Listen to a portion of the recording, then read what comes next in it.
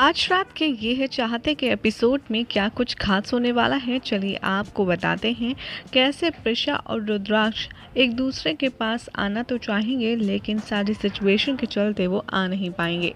आज रात के एपिसोड की शुरुआत होती है अरमान के साथ, जो कि रुद्र और प्रशा को गले लगता देख काफ़ी ज़्यादा शॉक्ड हो जाता है और वहाँ से चला जाता है। प्रशा रुद्र से कहती है कि तुम जाओ यहाँ से, लेकिन रुद्र जाने से मना कर देता है और उसे अपनी तरफ़ खींचता है।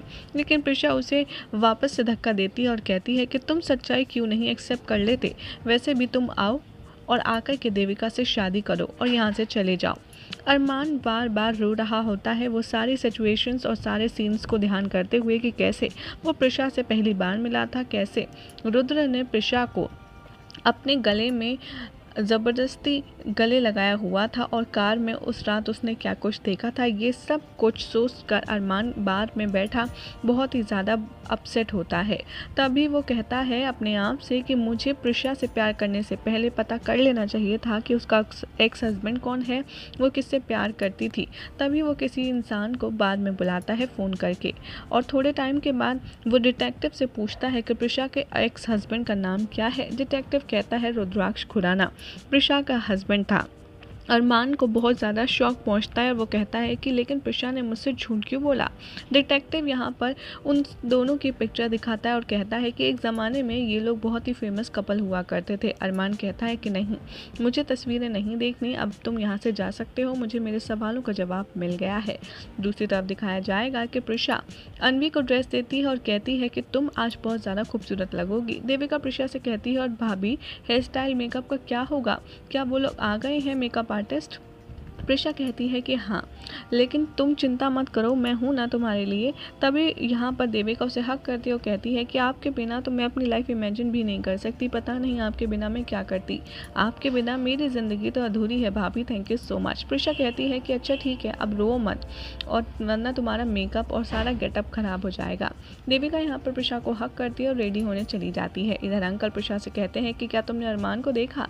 प्रिशा कहती है कि नहीं, वो तो जॉगिंग के लिए गया था। मुझे लगा अब तक लौट आया होगा, तभी वह अरमान को कॉल करती है, लेकिन अरमान प्रशा का फ़ोन नहीं पिक करता। प्रिशा यहाँ पर सजेस्ट करती है हेयर स्टाइल देविका के लिए। इधर रुद्राक्ष आता है और देविका से कहता है, अपनी आँखें बंद करो। और तुम मुझे शादी से पहले नहीं देख सकती। लेकिन यहाँ पर वो कहता है कि तुम्हें अपनी आँखें नहीं खोलनी है जब तक मैं ना करूँ। लेकिन यहाँ पर वो ऐसा करने से मना कर देती है। प्रिशा उसे बाहर ले जाती है रूम में और प्रिशा कहती है कि एक बात बताओ, तुम यहाँ क्या करने आए हो? तभी वो एक ज्वेलरी सेट देता है प्रिशा को और कहता है कि ये माँ ने भेजा है वो चाहती हैं कि तुम इसे पहनो। देविका यहाँ पर एक्साइटमेंट से आती है और कहती है कि रुद्र, तुम यहाँ क्यों आए हो? तभी रुद्र कहता है कि एक्चुअली यहाँ हमारे यहाँ पर एक ट्रेडिशन है कि फैमिली मेंबर को हमारी माँ एक गिफ्ट देती हैं, लेकिन अभी वो लोग बिज़ी हैं तो इसलिए मुझे भेजा गया। और वो कहता है प्रशा से कि आप ये ज्वेलरी ज़रूर पहनना। देविका यहाँ पर प्रशा को रूम के अंदर बुलाती है और उससे दिखाती है कि ज्वेलरी कितनी सुंदर है।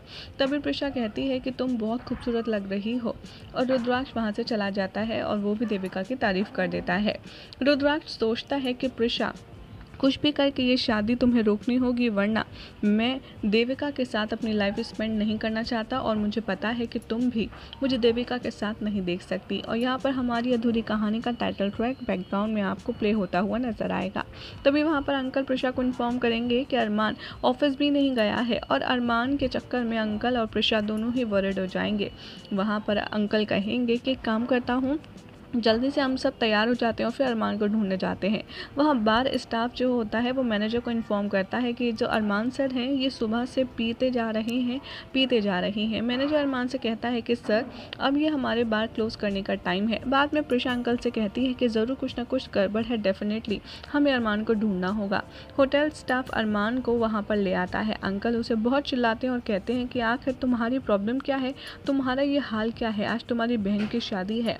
यहाँ पर अरमान कहता है कि, अंकल, मुझे और प्रशा को अकेला छोड़ दीजिए, मुझे इससे कुछ बात करनी है। और प्रशा को वहाँ से लेकर चला जाता है। देविका यहाँ पर अपनी नोज़ रिंग पहन रही होती है, लेकिन वो टूट जाती है और वो कहती है कि, अरे, भाभी के रूम में होगी नोज़ रिंग रुको, मैं लेकर आती हूँ।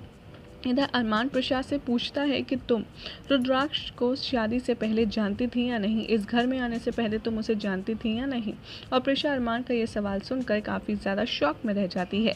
यही हो जाएगा आज रात के एपिसोड का एंड जिसके बाद देखना होगा बेहद इंटरेस्टिंग कि प्रिशा अरमान को क्या जवाब देती है, जिसके बाद अरमान का क्या स्टेट ऑफ़ माइंड रहेगा। ये देखना होगा बेहद खास। पहले ऐसी मज़ेदार अपडेट्स के लिए आप हमारे चैनल सीरियल से आपको सब्सक्राइब ज़रूर करें। साथ ही इस वीडियो को लाइक शेयर करके हमें कमेंट करके बताना ना भूलें कि आपको ये शो और हमारी ये अपडेट कैसी लग रही है।